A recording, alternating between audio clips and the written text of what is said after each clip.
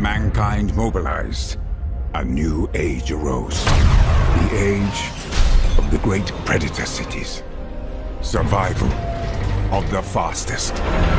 First things first, did you get to keep the suit? No, I gave it back quite willingly, actually. Why? It looked good on you. You should have kept you. it. You see, someone else thinks that. You Thank talking about you the very grey suit with the white balls? See, someone else likes that. That's your Halloween costume sorted for the rest of your life. You do know that. well, I've been I spent a lot of time in performance capture suits, for sure. he feels like an angry, broken machine with a lost boy inside, kind Uh-huh. of searching. How was it for you trying to find a character that, that felt true and real while also remembering that a massive part of you is also machinery? challenging, I think, to, to do that. I just took it. Uh, I tried to uh, simplify. I tried to. Uh, I, I tried to hollow out the chassis, Yes. and then uh, see uh, if I could. Add the hard drive, Yes. which essentially is, is, is what he is. I tried to figure out, you know, where the sensitivities were, where the insensitivities were, where the static was mm-hmm. when, when things would clarify for a moment. I created a dozen and more uh, images and metaphors in my own head and my own work to make it to, to make me be able to approach the work. Mm. And then I just held my breath and jumped in because what are you going to do? Yeah. You At the end almost got to create a new language for yourself, don't you? A new way of mm. talking about it.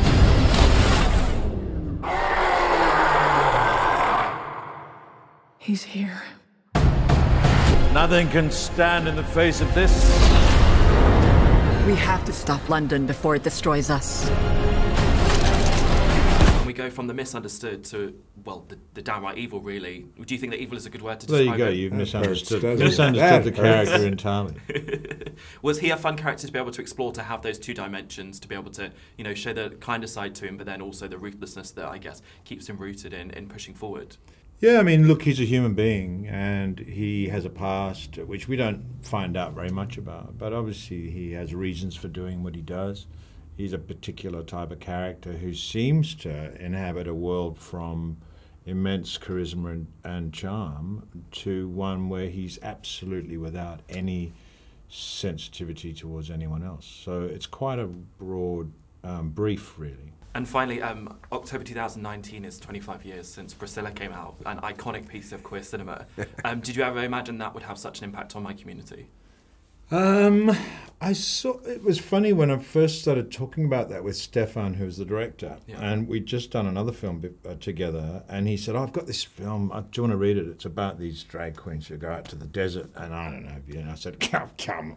I said, "I'll do anything in that film. I'll do a day's work on that film." And then we started working on it, and there was a lot of, in Sydney at the time. It was a very um, the Mardi Gras was, was, was kind of a big event. It had crossed over from being a political, uh, um, you know, a- activist sort of um, uh, event where where people were arrested, and I can remember when that was happening. To w- uh, one where the whole city was sort of embraced embraced it. Um, and there was some pretty cutting edge drag queens operating, some really political figures in, in drag. So just started to feel like we were actually, you know, he, he was making this film which was just felt like he was riding the crest of this wave which was about to break. And I think it did. I think that's why it was popular Yeah. at the time because actually it was expressing something that was questioning what masculinity was and what, what, what, what, what all of our sexualities and how fluid indeed are they and how